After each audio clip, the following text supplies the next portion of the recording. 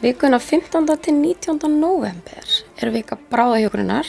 Það er vika þar sem við erum að gera bráðahjókurinn hátt undir höfði og sem, þetta hjókurinn er bara alveg ákaflega mikilvæg og fjörlæf og skemmtileg.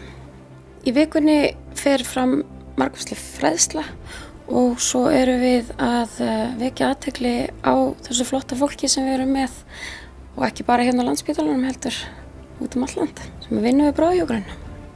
Undir venjulegum kringustæðum þá værum við með kökukeppni og, hérna, og værum að hittast með alls konar fræðslu en núna út á COVID þá hefur við þurft að breyta svolítið til og við erum að reyna að gera það svolítið bara á netinu og að vekja aðteglega á okkur með svona viðtölum eins og einmitt þessu.